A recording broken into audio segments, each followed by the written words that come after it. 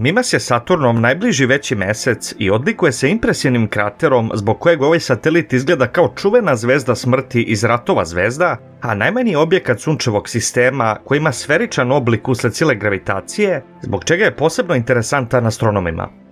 Dobrodošli na kanal posvećen nauci i astronomiji, gravitacioni manevar. U ovom videu otkrićemo koje misterije krije Saturnov mesec Mimas i vidjet ćemo kakvu interakciju ima sa Saturnovim prstenovima, ali i sa drugim satelitima u ovom sistemu. 17. septembra 1789. godine astronom William Herschel posmatrao je planetu Saturn i tom prilikom je otkrio dva manja satelita koja su kružila blizu njenih prstenova, a ovo otkriće je bilo veoma značajno jer je to bio prvi put posle više od 100 godina da su otkriveni novi Saturnovi meseci.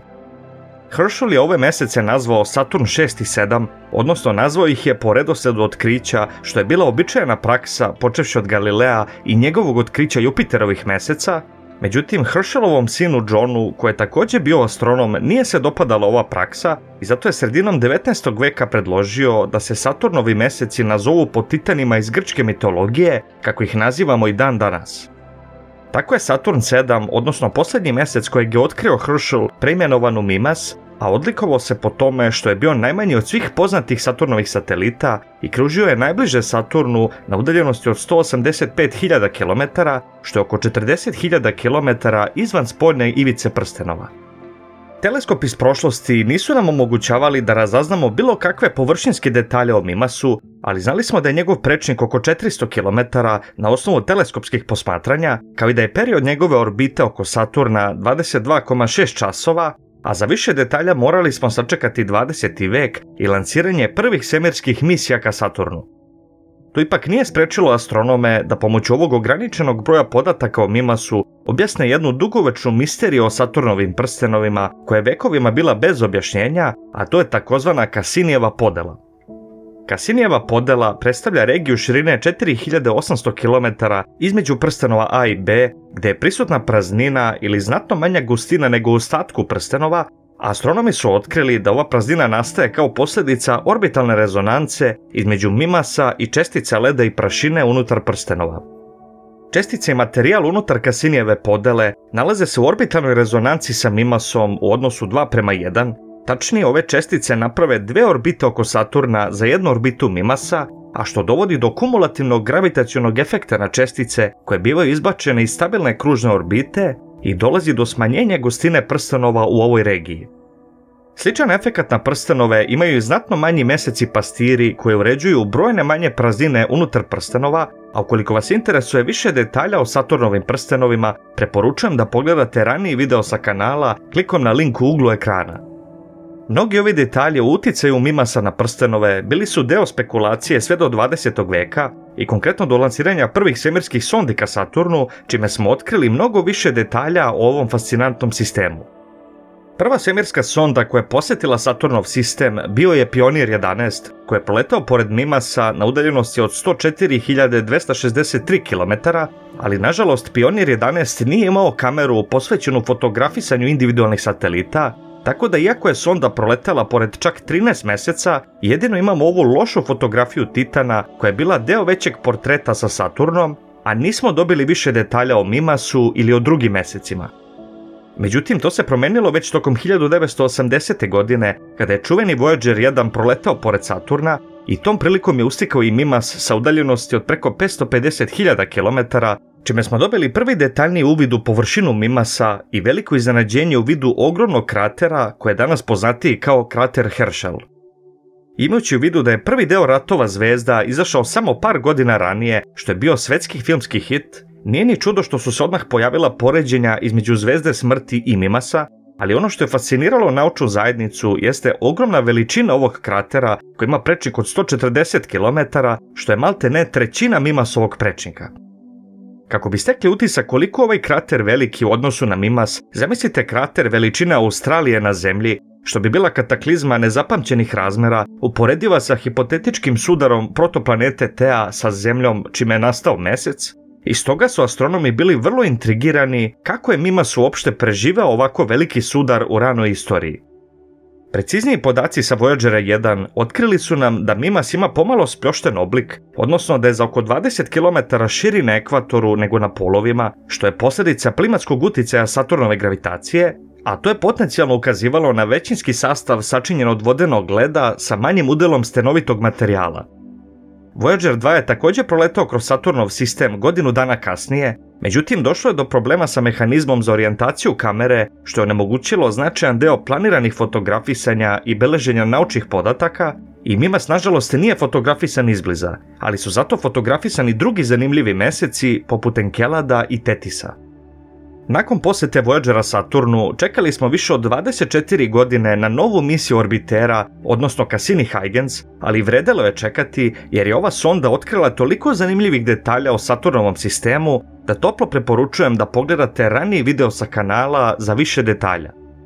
Cassini je tokom misije duge skoro dve decenije najveći fokus posvetio istraživanju Titana, koji je jedini mesec sa gustom atmosferom i morima tečnosti na površini, ali je tokom 2010. godine obavio veoma bliski prolet pored Mimasa na udaljenosti od 9500 km, čime je mapirao celu njegovu površinu i otkrio je dosta zanimljivih detalja o njegovoj topografiji.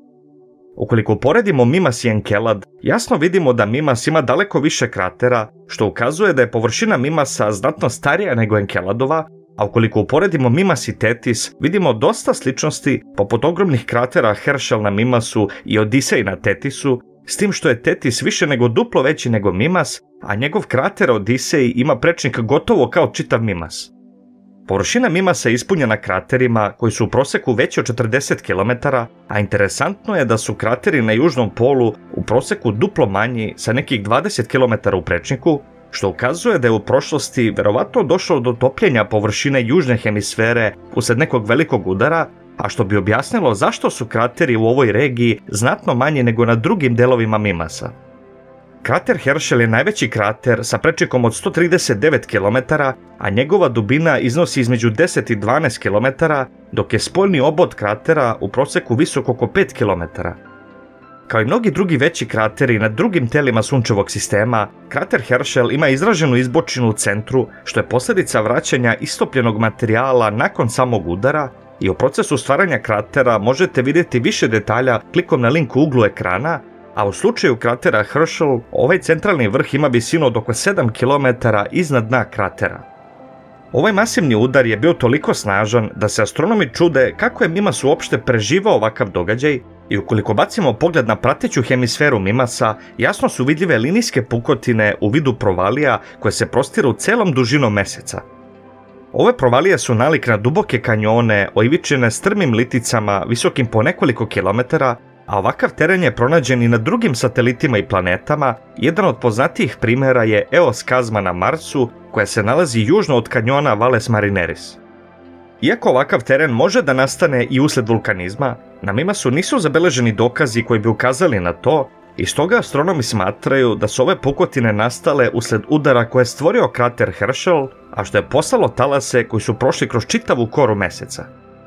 Na Mimasu su pronađene i takozvane katene, odnosno lančani nizovi kratera koji su nastali raspadom asteroida pre udara, a verovatno najpoznatiji primjer ovakvog lanca kratera nalazi se na Jupiterovom najvećem mesecu Ganimedu i to je takozvana Enki katena.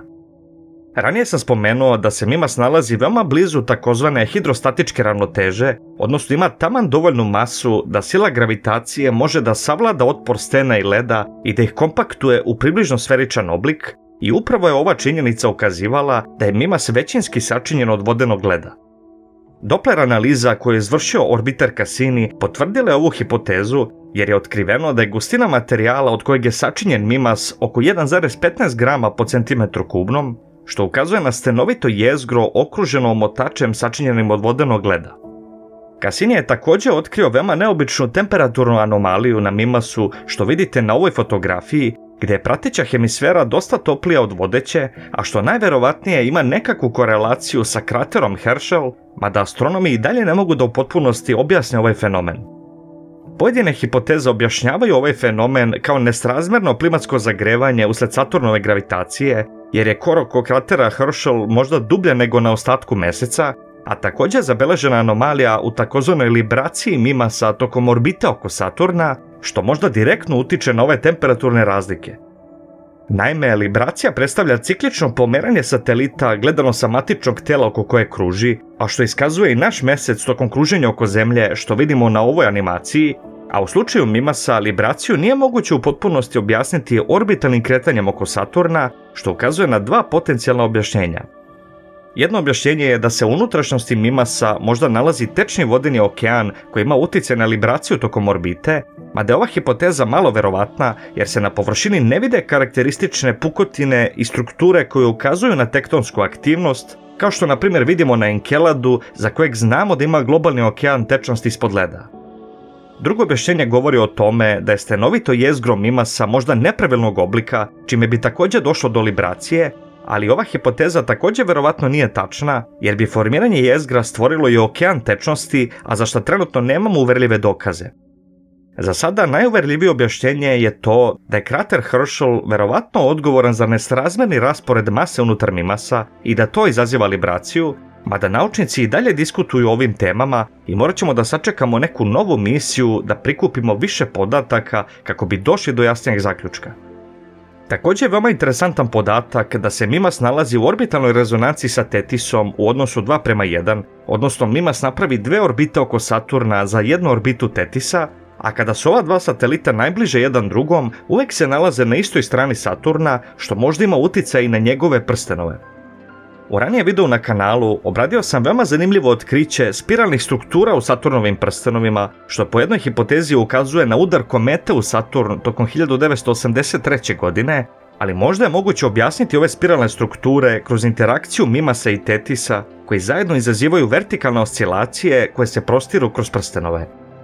Za više detalja o Mimasu morat ćemo da sačekamo neki novi orbitar oko Saturna koji nažalost još nije na vidiku, ali informacije i podatke koje su nam pružili Voyageri i Cassini otkrili su da je Sunčev sistem prepun interesantnih objekata poput Mimasa i da čak i ovi mali objekti kriju pregrš zanimljivih podataka koji nam pomažu da bolje razumemo kako funkcioniše naš Sunčev sistem.